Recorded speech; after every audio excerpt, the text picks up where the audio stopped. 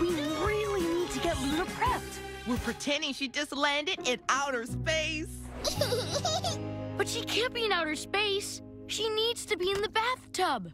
Oh, it's just so hard to say no to her sad, sweet puppy dog eyes. They're so adorable.